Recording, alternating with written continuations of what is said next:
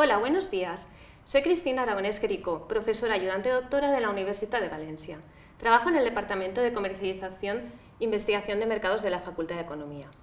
¿A lo largo de vuestros estudios habéis tenido que exponer alguna vez? Imagino que la mayoría habéis dicho que sí.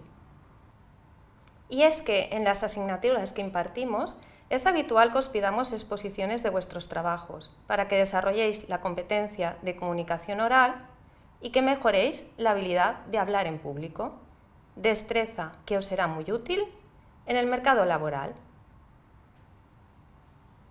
Algunas veces se os marca de manera muy concreta cómo debe ser la exposición, otras se deja a vuestra elección. Es en esos casos en los que la metodología pecha-cucha que os vamos a explicar en este vídeo os puede ser de gran utilidad.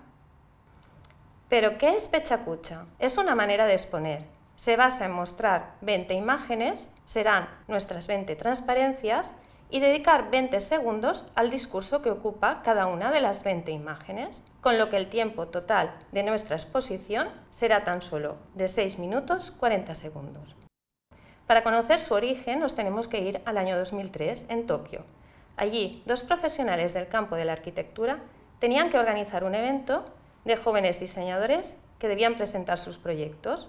El evento no podía ser aburrido, así que crearon este método único de presentación. El método fue un éxito y hoy existen muchos pechacucha por todo el mundo. Se utiliza para infinidad de eventos, jornadas, congresos, para presentar ideas de forma creativa y en un corto espacio de tiempo. Como curiosidad decir que en japonés la onomatopeya pechacucha representa el sonido que hace una conversación informal. El hacerlo es todo un reto, porque este método requiere sintetizar la información y pensar en las ideas más importantes para transmitirlas de forma sencilla, atractiva, creativa, impactante y, por supuesto, breve. No hay una fórmula única para hacer un buen pechacucha, pero os vamos a dar algunos consejos que os pueden ayudar. Lo primero es preparar bien el discurso. La estructura puede ser la básica, la introducción, donde se dice que se va a contar, el desarrollo, donde lo contamos, y la conclusión, donde se resume que se ha contado. Calculad el discurso para que se ajuste bien al tiempo. No intentéis contar todo el trabajo, sino lo más destacado. Podéis centraros en cosas concretas, las ideas principales y más importantes. Pensad que estáis tratando de vender vuestro proyecto o trabajo a un grupo de inversores. Para ello, una opción es contar una historia que sea fluida, a través de la cual poder desarrollar vuestras ideas. Por ejemplo, puede ser como si fuera un monólogo o un cuento. Las frases cortas os ayudarán a mantener el ritmo en el discurso y ese ritmo es el que facilita la atención y engancha al público. Los mejores oradores provocan emociones en sus audiencias, pero todos sabemos que eso no es tan fácil de conseguir. Aún así, para cautivar al público, también podemos utilizar estrategias como la originalidad y el sentido del humor. Además, nos pueden ayudar las entonaciones, los silencios con intención y los gestos. Para ello, es muy importante que prestéis atención al lenguaje no verbal y que lo tengáis en cuenta mientras preparáis vuestro pechacucha. Utilizad vuestro cuerpo, moveros, gesticulad, ilustrad, sorprended. Si somos de los que nos ponemos nerviosos al hablar en público o tenemos pánico escénico, mejor no dejar nada a la improvisación. Por eso, debéis también pensar previamente en hacer partícipe a la audiencia. Planificad cuándo vais a interactuar.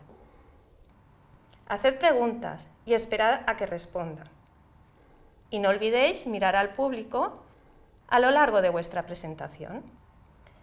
Es necesario que las transparencias sean muy visuales, con poco o ningún texto. Lo mejor es utilizar imágenes atractivas para completar lo que estáis diciendo en ese momento y que ayuden a comprender el mensaje, no a repetirlo. Procura que sean imágenes libres de derecho, como estas que he hecho con la ayuda de mis hijos. Una vez tenemos preparada nuestra presentación y todos los detalles de la misma, solo nos queda uno de los mejores consejos que os podemos dar para que sea un éxito. Practicad, practicad y practicad. Podéis hacerlo solos frente al espejo o contándoselo a amigos o compañeros, pero esto os dará seguridad y confianza. Para ir finalizando, os queremos mencionar algunos problemas comunes que hemos visto en las presentaciones pechacucha de otros años. Un problema con el que a veces nos hemos encontrado en el momento de la exposición en clase es que el PowerPoint no viene preparado con la transición automática de 20 segundos de las transparencias. El tiempo es uno de los principales problemas.